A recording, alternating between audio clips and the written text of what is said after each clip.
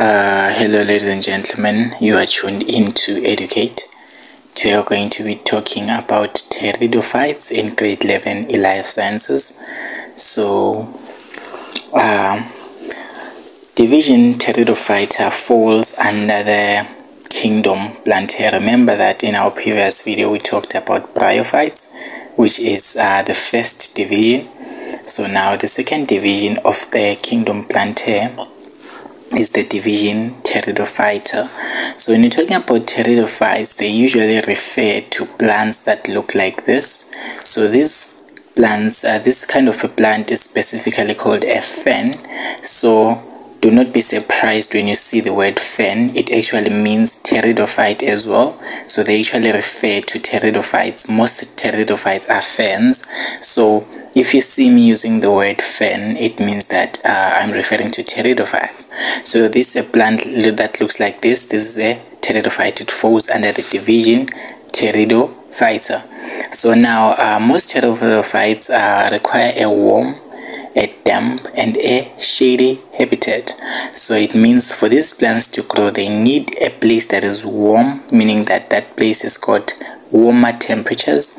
That place must be damp as well as it must be shady when we say that the place has to be shady it means that it can be maybe in the woods whereby there are a lot of trees and there's a lot of shadows there so in those shady areas we find ferns developing there so the size of the ferns vary from small plants to big trees. So if they can ask what is the size of a fern or describe the size of a fern, you're just going to say that they can vary from small plants to big trees. Just like this one, this one is almost like a big tree, but then it's just a plant. So this is a type of a pteridophyte called a fern.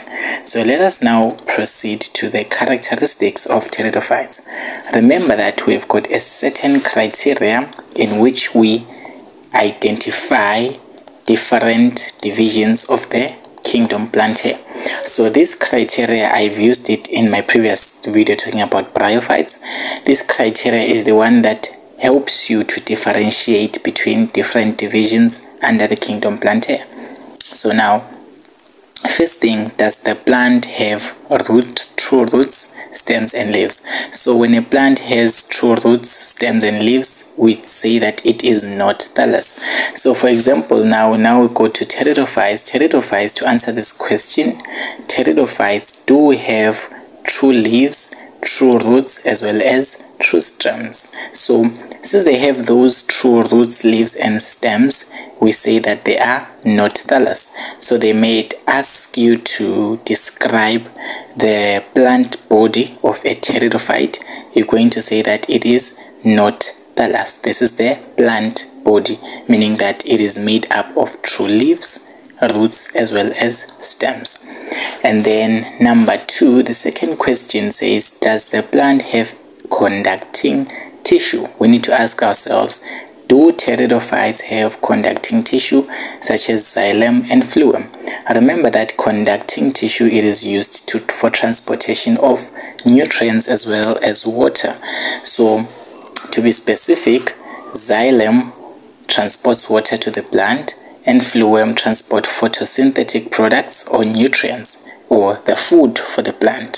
So now, as for pteridophytes, they do have that vascular tissue or that conducting tissue such as xylem and phloem for the transportation of water and nutrients, causing some of them to grow bigger. Remember that when there is conducting tissue in a plant, it means that there will be more nutrients, then there will be more water and nutrients that are transferred to the plant that are transported to the plant. Hence the plant is able to grow bigger than the bryophytes so the bryophytes they usually like to use these examples called mosses so mosses are a type of bryophyte so they can just say mosses instead of bryophytes.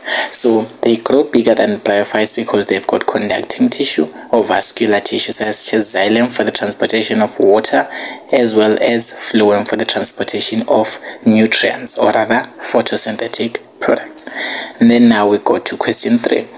It says how does the plant reproduce? How we have to answer how something happens but then we have to answer here how does the plant reproduce. When we talk about reproduction, it means that how does the plant make more of its kind? So how does the plant make more of its kind? These are the ways. So ferns reproduce both sexually and asexually. Remember that we said that when they produce sexually, they involves a fusion of two gametes. So it means that there must be two, two, two gametes involved in the sexual reproduction. We'll talk about it later on, as well as asexual reproduction. It means that they can they can reproduce on their own. So the dominant generation in ferns or the pteridophytes remember we said that ferns are pteridophytes? So the dominant generation in ferns is the sporophyte generation. In the previous video talking about bryophytes i explained that the sporophyte generation is the one that produces spores. Spores are just almost like seeds. They just develop in what we call the sporangia. So it means that when spores when these spores develop the wind will disperse them. The wind will blow them away into the ground.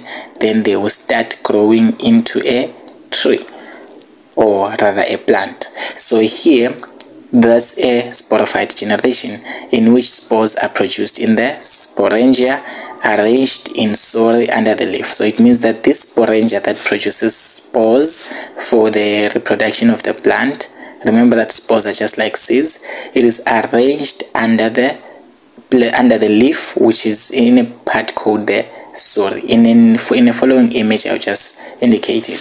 So you can see here in this image that uh, this is a fan and then under the leaf here you can see all these these brown things.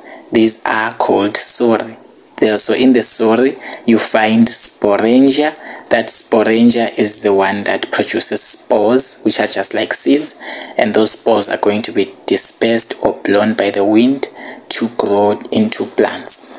So we have answered that question. Now we go to question number four. Do they need water for reproduction? So do they depend on water for reproduction?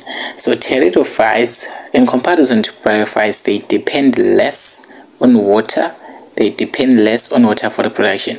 This means that pteridophytes don't really need more water so that they can reproduce or make more of its kind compared to bryophytes. So we have answered these questions that enable us to differentiate between divisions of the kingdom Plantae. So now let us look at other characteristics. So ferns do not produce any fruit or seed. So you can see that these plants you do not expect to find any fruit. You do not expect to find any seeds. Instead there are spores that help them to reproduce. So ferns do not produce any fruit or seed. So you cannot seriously go and look for fruits here. No no no no no no. That's not possible. Okay Another characteristics or uh, another characteristic of pteridophytes or ferns, the fern leaves are covered by a waxy cuticle. Remember that we said for a bryophyte, the leaves do not have a waxy cuticle so that water can be absorbed since bryophytes do not have conducting tissue like xylem for the absorption of water. So in pteridophytes, since they do have a vascular system, their hence their leaves have got a waxy cuticle. Remember that a waxy cuticle's function is to prevent the excessive loss of water. So if the plant has got water in it and it wants to retain that water such that the water is not lost, the leaves have got what we call a waxy cuticle which is discussed in grade 10. So the waxy cuticle prevents water loss from the plant, excessive water loss. So they have got a cuticle. And then now we look at the stems, the leaves and the roots of a pteridophyte. So we're actually describing the plant body of a pteridophyte. So remember that you said when we talk about plant body, we talk of the leaves, the roots, and the stems. We say that the plant body of the pteridophytes is not thallus, meaning that they have got true, true leaves, roots, and stems. So let's talk about the stems first. So the stems of ferns are called rhizomes. So rhizomes is the name that you're going to use to call the stems of the pteridophytes. So these rhizoids, they grow horizontally and they are protected by brown scale-like leaves so let's try to imagine that by looking at this picture so by looking at this picture we can evidently see that there are little stems here I'm not sure that if they can seen if they can be seen properly but then there are stems anchoring to the ground going to the ground going to the ground. So those stems are called rhizomes and those stems grow horizontally. And then another uh, part we talk about the leaves. So the leaves of ferns are called a frond. So they are called a frond they are compound leaves which means they are divided into smaller leaflets. So when you talk about um, a frond or this compound leaf of a pteridophyte it means that it is not like the normal leaf which you are used to. This is the normal leaf which you are used to. Well the ones of ferns it is more like this one this image you are seeing here. You can evidently see in the image that this is the whole leaf yet you can see that it is it has got little leaves. These are called leaflets. So the fact that it has got leaflets we call it a compound leaf. And then the third thing which is the roots the roots of ferns are adventitious. We want to be talking about uh, the difference between the adventitious roots as well as the taproot system in, a, in another video. But then just know that those roots are adventitious. They are true roots. Remember we have said that they are true roots in the beginning because they've got xylem and phloem so uh, what makes uh, the roots of a plant to be true roots is because it has got xylem and phloem which is otherwise called conducting tissue. So it means that when the root has got xylem as well as phloem.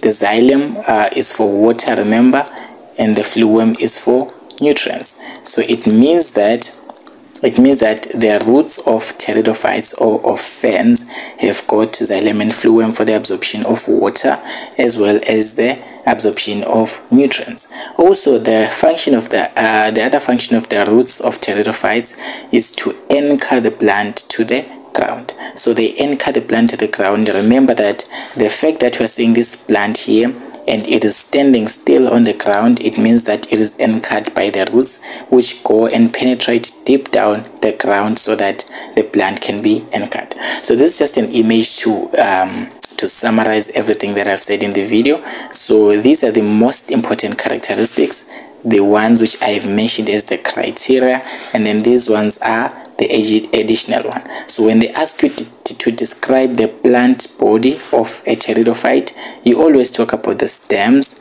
the leaves as well as the roots. So do not forget to subscribe and don't forget to, to download this uh, textbook life sciences dbe study guide grade 11 uh, support us by subscribing liking commenting or even donating uh, with a super thanks. Thank you for watching